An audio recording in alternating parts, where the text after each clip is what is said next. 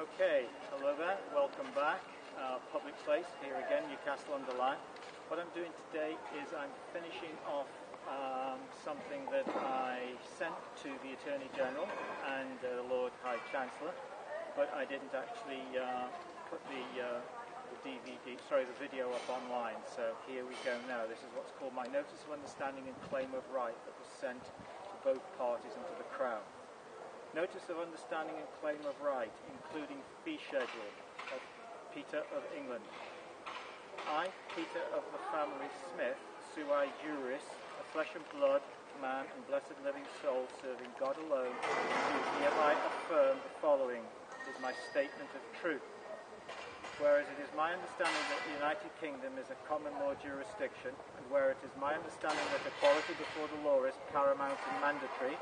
and where it is my understanding that the statute is defined as legislative rule of society, which has been given the force of law, and where it is my understanding that society is defined as a number of people joined by mutual consent to deliberate, determine, and act for a common goal, and not to be an elective dictatorship, a sham and criminal disgrace,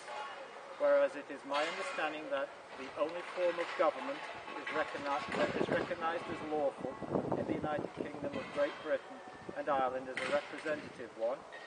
and this present government and electoral system is neither democratic nor answerable, whereas it is my understanding that representation requires mutual consent and elective dictatorships are there to trick people and mislead them via hidden agendas and lying, mutually cooperating gangs of corporation-headed business gurus who are all operating via associated networks proven to be linked to 153 global organizations and corporations. Whereas it is my understanding that in the absence of mutual consent, neither representation nor governance can exist. Whereas it is my understanding that all acts of Parliament are statutes restricted in scope and applicability by corporate law and admiralty law, and whereas it is my understanding that said scope and applicability is limited to members and employees of government and Crown agents, and whereas it is my understanding that those who have a national insurance number are in fact employees of the UK government and Crown agents or personnel of UK PLC, and thus are bound by the statutes created by UK PLC, corporatocracy and government, and whereas it is my understanding that it is lawful to abandon one's national insurance number, driver's license, passport, and all other licensing, tax discs, TV licenses, insurances, permissions issued by the state. Whereas it is my understanding that human beings in the United Kingdom of Great Britain and Ireland have a right to revoke or deny consent to be represented and thus governed by traitors and collaborators. And whereas it is my understanding that if anyone does revoke or deny consent, they exist free of government control and statutory restraints. And whereas a freeman of the land has lawfully revoked consent and does exist free of statutory restrictions, obligations and limitations,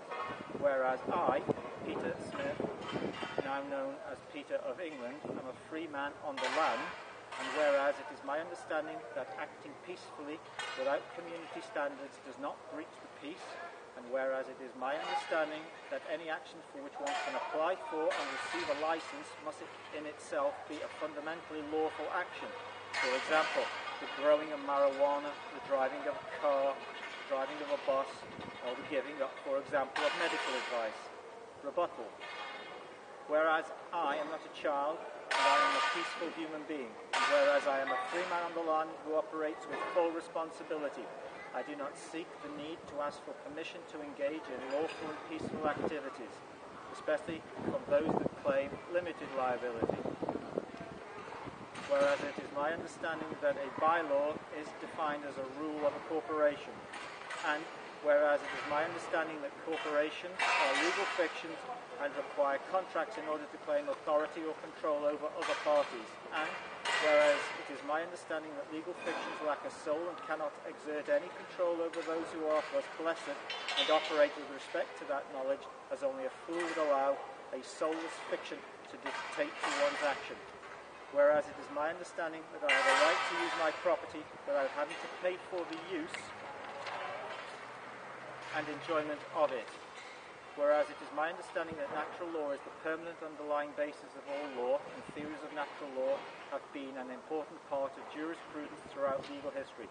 Natural law is distinguished from positive law, which is the body of law imposed by the state. Natural law is both anterior and superior to positive law. Oxford English Dictionary, 5th edition. Whereas it is my understanding that common law, which applies to all living souls, is we are free to do what we please as long as we do not infringe on the life, liberty, property, or rights of another.